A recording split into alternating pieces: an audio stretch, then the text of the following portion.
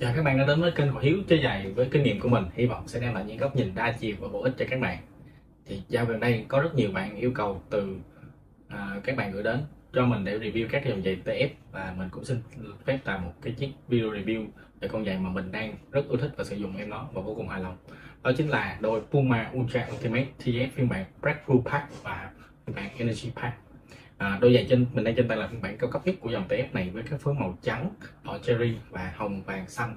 À, phiên bản Energy Pack đặc biệt cho thị trường Việt Nam. Đôi giày này hiện đang được trên chân các ngôi sao lớn đó, trên thế giới đó chính là Mitoma, Kyle Walker, Kingsley Coman hay là Oliver Giroud. Đầu tiên sẽ là phần cân nặng của em nó.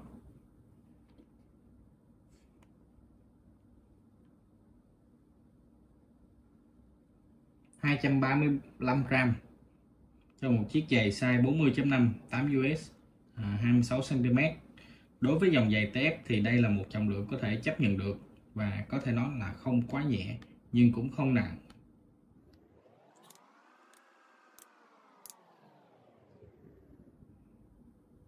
Đôi giày này thuộc dòng Speed nhưng nếu so với các dòng giày Speed cùng phân khúc thì trọng lượng của đôi này là một điểm hạn chế lớn à, khi có thể so với các đôi của Mizuno chỉ nặng tầm đâu đó uh, quanh 200 gram.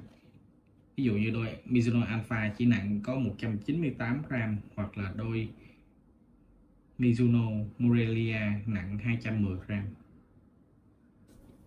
Tiếp theo mình sẽ đi đến phần bên trong của đôi giày. Đầu tiên là phần lót của đế giày. Đây các bạn đã thấy có thể thấy là phần lót cũng được làm bằng chất liệu dạng nhung mềm và phần lót đế lót khá là dày dặn mang lại cảm giác êm ngay từ khi ban đầu. À, trên bề mặt lót thì mình có thể thấy đây là một công nghệ super grip cũng giúp góp phần làm giảm thiểu đáng kể cái việc xô lệch và giữ cho đôi giày à, được à, không bị trơn trượt. À, đi sâu vào bên trong đôi giày à, nổi bật nhất có thể thấy là phần gót là một lớp chất nhung bao quanh với phần đệm ở phần mắt cá này. Phần đệm này khá là êm và dày và rất giống như các cái đôi x pack mà mình đã review ở đây. À, đi sâu vào bên trong các bạn có thể thấy à, chúng có một lớp upper mỏng hoàn toàn bằng chất liệu vải dệt.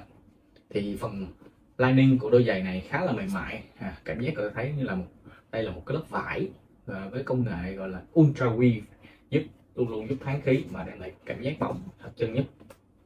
À, phần cổ giày này các bạn có thấy được, được thiết kế nhỏ mà vuốt nhọn ở phần lưỡi gà và góc giày. Hai đâu mình có thể thấy đây. Đây các bạn có thấy tiếp theo mình sẽ nói đến phần lưỡi gà này. Phần lưỡi gà của đôi Puma Ultra này có thể xem là vừa là điểm trừ mà cũng vừa là điểm cộng của đôi giày.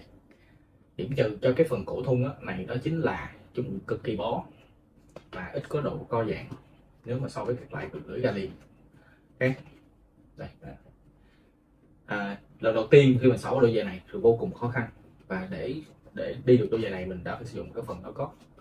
Tuy nhiên chúng lại là một cái điểm cộng rất là lớn khi mà đảm bảo được cái độ lóc thì in là đôi giày rất là cao và một trải nghiệm thú vị nhất mà chính hãng Puma họ cũng đề xuất đó chính là cái dòng Puma Ultra hay à, Puma Future các bạn đều có thể sử dụng không dây và đây một trải nghiệm tuyệt vời cho bạn nào đang đi dòng nhà này này nhé. Upper bên ngoài là phần upper được làm bằng vải dệt với công nghệ Ultra Weave. Được kết hợp cùng với các giải power tape được đưa vào dưới mặt upper cho cảm giác dày dặn và góp phần giữ cho form giày tốt hơn. Nếu nhìn kỹ trên bề mặt upper, các bạn có thể thấy các vân sợi nhỏ được chạy dọc theo chiều dài của upper. Tuy nhiên, chưa, chúng chưa đủ để gồ lên và tạo thành các chiếc sợi gân. Có một điểm thú vị mà mình nhận ra sự khác biệt giữa hai màu trắng đỏ và hồng xanh, đó chính là phần upper, phần nổi trên upper với công nghệ Power Print Pro của đôi hồng này làm cho cái việc thuần dày gặp nhiều khó khăn hơn à, rõ ràng là khi đôi trắng này mình có thể ngay trận đầu tiên đã có thể thuần được nó trong khi đôi hồng xanh này cần mất khá nhiều thời gian. Lớp upper và form của đôi giày này thì khá là thon. Chính vì upper mềm nên điểm mạnh của đôi giày này là mềm mại giúp cho cảm giác trên chân thật thoải mái. Và có nhiều bạn chơi về nếu chịu khó thuần thì vẫn có thể thuần được nó thôi. À, tuy nhiên sau khi mình thuần được đôi giày sau một hai trận thì cảm giác trên chân là cực kỳ thích thú và thoải mái. Puma Ultra cho mình cảm giác bó sát, upper mềm và thật chân, nên việc chạm bóng và sút bóng rất là tốt. Chân của mình đang đi hiện là size 41 26 cm và ngang 10.5 nên khi vào đôi giày này, cảm giác vô cùng vừa vặn và không bị quá bó. Phần đế của đôi giày này là một trong những điểm nhấn tốt nhất do dưới lớp đệm đế. EVA này rất là dày và mềm mại. Dù không có cái công nghệ nào được áp dụng vào phần đế này, nhưng form của đế dày này lại giúp mình cảm thấy khá thoải mái. Phần đế cao này thì cũng gặp phải nhiều ý kiến trái chiều, trong khi một số người lại thích loại đế êm này thì một số khác lại không thể thuần được dòng đế cao này.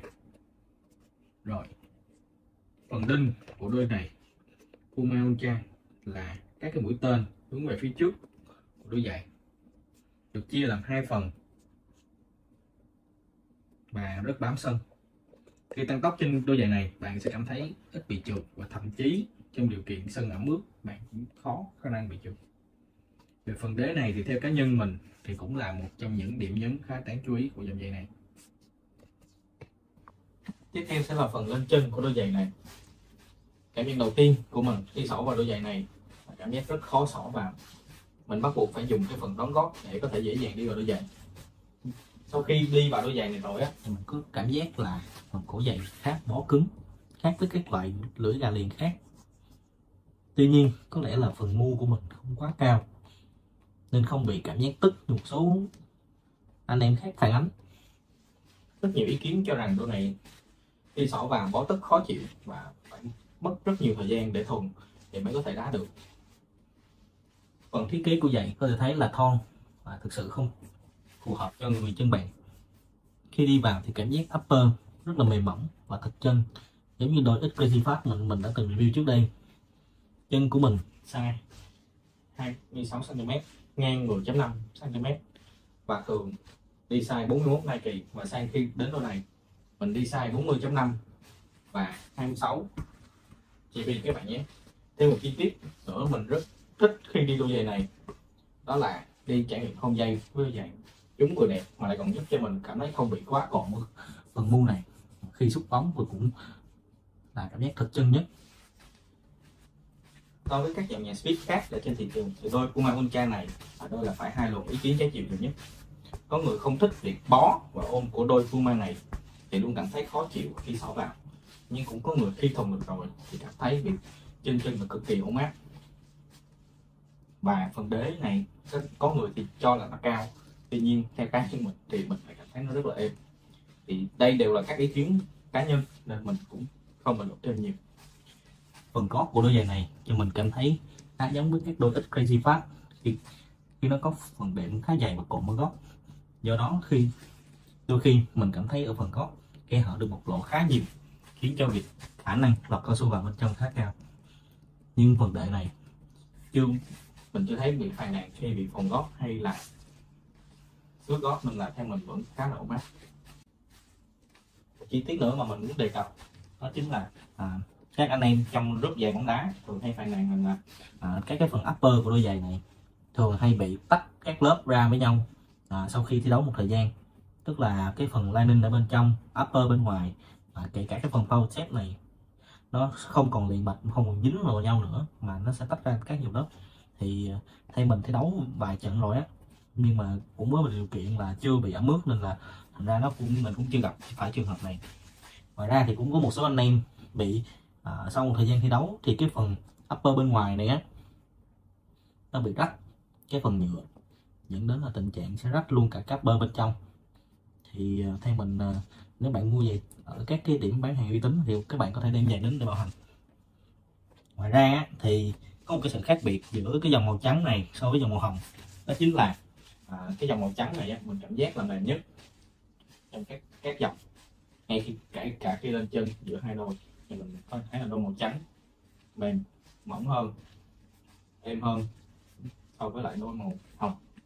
Thì theo mình được biết thì đôi màu trắng này là dòng mỏng nhất mà mềm nhất kể từ khi mà cái phiên bản Energy Pack và sau này là các cái dòng à, uh, Supercharge màu xanh hay là dòng uh, màu vàng thì cái cái phần upper này đã được làm lại và cải tiến hơn à, theo mình là cảm thấy nó dày dặn hơn thì dẫn đến cái việc rằng là khi thùng rõ ràng khi thùng đôi giày thì sẽ khó khăn hơn và mất thời gian nhiều hơn.